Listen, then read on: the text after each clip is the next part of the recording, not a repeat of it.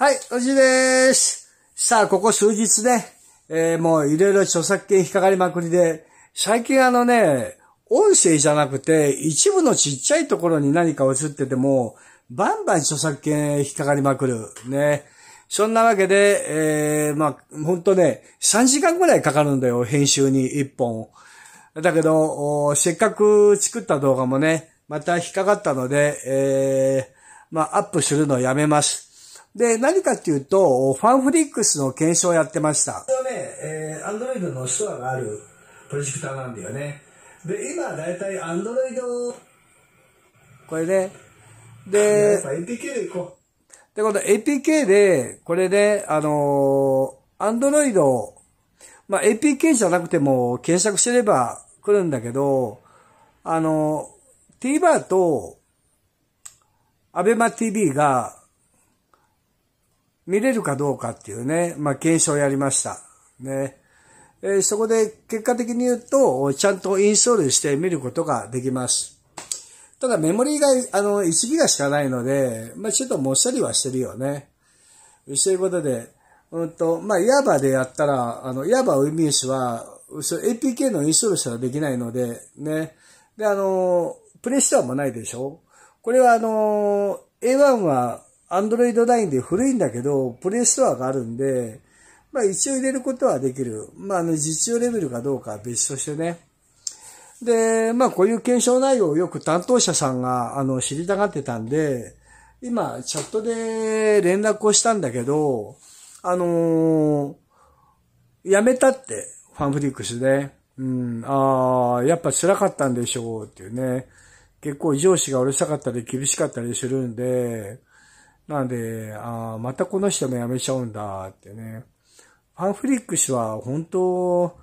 人の入れ替えが激しいよね、結構ね。そういうことで、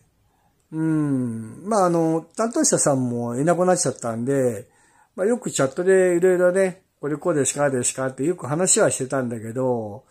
あの、ファンフリックスとのつながりがまたなくなっちゃったんで、本当ね。まあ、あの、しましま、ま、検証するあれもないなってね。うん。まあ、そんなわけで、まあ、著作権いろいろ引っかかったりしてね。今日もう今夕方4時になっちゃったけど、これ午前中からやってるんだよ。ね。なので、まあ、一本、これはね、まだ動画や、この一本に途中で宅急便が来たりとかいろいろやるから、あの、つなげなきゃなんなくて、で、データの転送に50分かかるんだよ。メモリーカードからこっちに入れるのに。で、認識して処理が終わるのに、小1時間かかるんだよ。あの、で、何がおかしいのかわかんないけど、PC がおかしいんだよ。で、すっごい時間かかってエラーが出たりとか、ハングアップしたりして、強制終了したりとかして、あの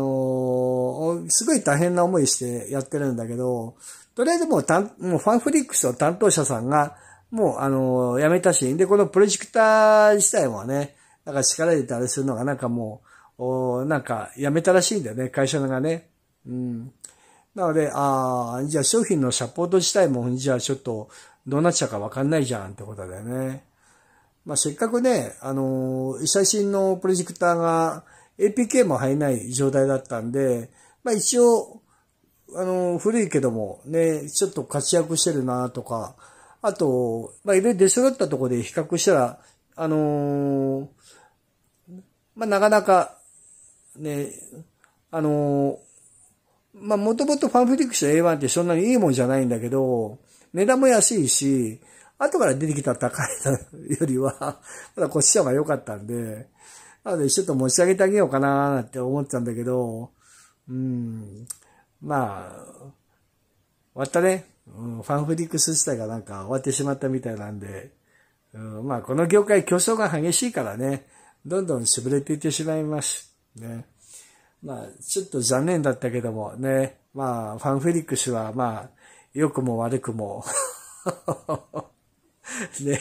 いや、因縁のあれだったけどもね、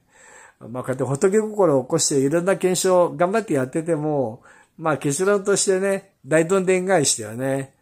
うん、もうホームフィックスがもうプロジェクターやる気なくなっちゃったのと、担当者さんも辞めちゃったってことでね、まあ、そういうオチが来るのはちょっとびっくりしたんだけど、ね。まあ一応、商品には罪はないのでね、えー、あの、ネットはもっさりしちゃって、ネットが繋がりにくいんで、この本体自体が。なんでか知らないけど、リモコンの動作はもうもっさもっさしてるし、もうとにかくまともに動かないんだよね、これね。イライラして。あの、レビューにも書かれてるよ、そうやってね。おじいはね、本当に思思ったままそのまんまをレビューにしてるんで、結局買った人がそう思ってレレビュー書くことなんだよ。おじいの動画はね。そのまま表現してるから。ね。うん、まあでも、2万2千円、まあ2万3千円しないで買えるんだったら、まあそこそこ、あの、遊べるど、あの、プロジェクターではあるかなと思うけどもね。まあ、カスタマイズっていうか、アプリを入れたりとかはできるんだけども、お実利用レベルではないよっていうことでね。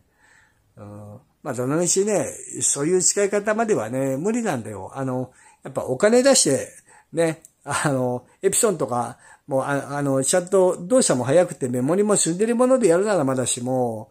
ね、あの、1万円2万円でそれをやろうっていうのはね、やっぱ、甘いよ。ね。それはちょっとできない。そうだねってやつだね。はい。そんだけどね、もうこの動画は削除しまし頑張って作ったけど。じゃあね、バイバイ。